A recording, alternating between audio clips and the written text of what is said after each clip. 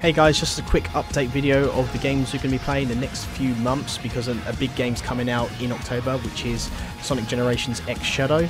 So let's get started.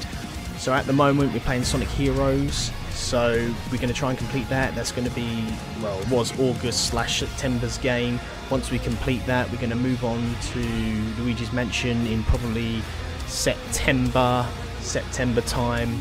And then what we're going to do is complete Luigi's Mansion 2, move on to. Uh, there should be like September, October time.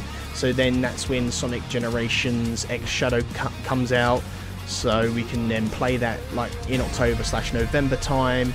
And once we're playing that in those times, we'll then fast forward to November slash December. Will be Star Fox Adventures. But while we're playing Star Fox Adventures, um, December 7th, we're going to be playing definitely streaming that day uh, modded World of Light Super Smash Bros. Ultimate because, as you guys know, I've, I've done a lot of mods, uh, Amiibo Train mods Super Smash Bros. Ultimate. It'd be great to do a modded World of Lighting. I know you guys have said so before, so that'd be quite cool.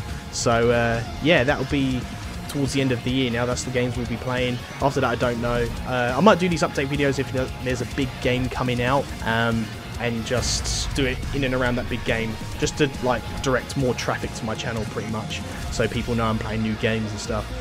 But yeah so thank you guys for watching this update and I shall see you guys in the next one. Bye guys. Always remember to keep gaming